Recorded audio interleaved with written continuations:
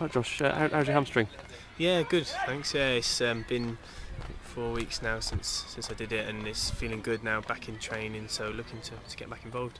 Yeah, it's, you didn't miss many games you could have done because of the postponements, did you? But it's not a period you would have chosen to be out of over Christmas. So many games coming thick and fast, is it? Yeah, yeah, no, it, yeah. It's, I don't think it's ever a good time to be out injured, but yeah, it worked out that there are a lot of games over that period. But like you say, there was a few off with, with ice and snow and various things, so didn't miss as many as I could have done. But yeah, still missed, still missed four or five games. So looking to just get back involved now as quick as I can. Yeah, I'm not sure how many of the games you've seen where you've been injured, probably the home ones, but it's, they've not done too badly without you, have they? The Recently? lads have done really well. Yeah, no, they, they, you know, I mean, we've got a good set of players here. I mean, we had earlier in the season, we had a period when like Wes was out and you know Pookie was out injured at the same time, and we picked up good results then as well. You know, so I think we've got good players in the squad. So no matter if we lose one or two players here and there, you know, the the lads can cope and do well. So yeah, no, uh, the lads have done really well.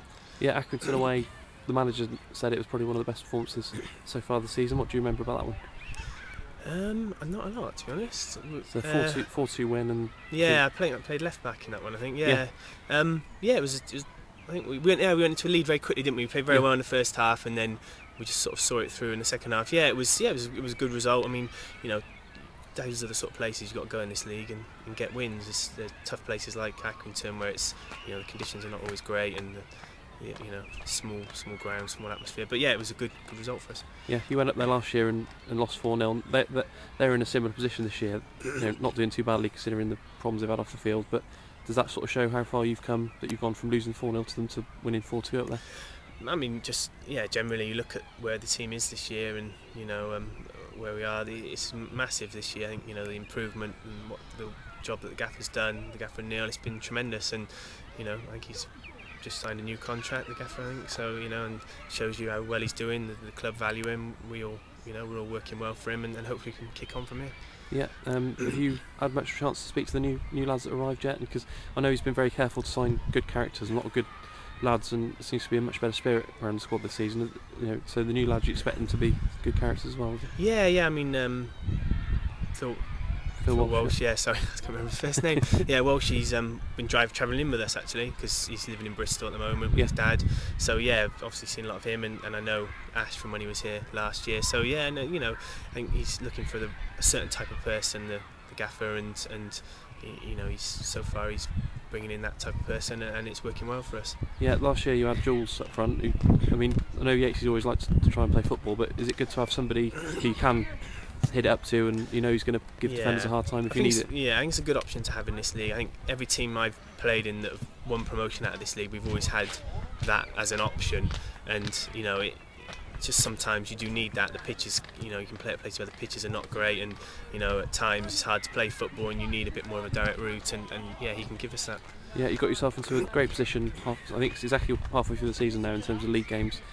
You've you've won promotion from this league two, three times, I think, haven't you, in the past? Yeah. So, what what do you think the key between now and then season? What are the key things to try and stay up there and you know get back into the top yeah, seven? it's, it's sort of battling it out really. I mean, there's there's times in, in promotion seasons where I've been in teams where we've we've had great runs and we've gone on good winning streaks, but but generally it's just grinding it out week in week out, keep being consistent, winning, you know, drawing away from home when you're not playing well maybe, or picking up wins here and there when you're when you're not doing so well, and then and then before you know where you are, you keep doing that, you know, with the odd good game thrown in as well, and, and you'll get a run together, and then that's when it really that's when it really kicks on. yeah, and picking up things like Northampton away, which wasn't Good the best point. performance. A Yeah, that's it exactly. Didn't lose again, and you know it shows. It does show how far the team have come, and that's what it's all about in this league. I mean, I think the year we went up with Northampton, we spent the majority of the time in and around the playoffs, and then I think we just had a really good run right at the end, sort of five or six wins, and that was what we ended up finishing second. So I think you just got to hang in there, keep keep doing well. I mean, you know, you're not going to play well every week, but if you can keep picking up points, then you're going to be there or thereabouts. Yeah. Yeah, and um,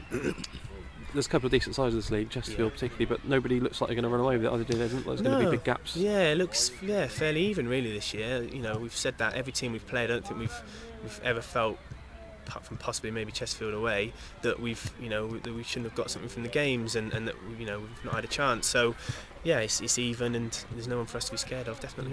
Yeah, and the, the away record, record's amazing because Cheltenham had to come from behind to get a point against Southend, but virtually every game, I think something like 10 out of 12 or 10 out of 13, you've, you've led away from home, which is an incredible Yeah. record. Just Yeah, no, it is. Yeah, definitely. I mean, we, we, we do seem to start very well in games, and uh, you know, we just need to try and see that through. And I know it's something we've have spoke about earlier in the season with the with the Gaffino that we've been in a winning position a lot of times. And if we can turn a few more of those into to wins, we'll be yeah we'll be right up there at the end of the season. Yeah, and you, you, you went out injured on a bit of a low note, didn't you? Really, in that game against Southend. Yeah, I it? know. It's been a long time since I've been looking for a chance to sort of not just you know redeem how, you know myself for the for the game. I wasn't playing particularly well that day. None of us were, and we and we ended up losing. Yeah, that was my last game. So yeah, I'm looking to, to get back involved hopefully and uh, and get involved in a good winning performance. Yeah, you chose to extend your football career this season. Have you you still doing your law practice this year? I mean, Yeah, I'm how's that going? still yeah, it's hard work, but but I'm enjoying it. Yeah, and the, the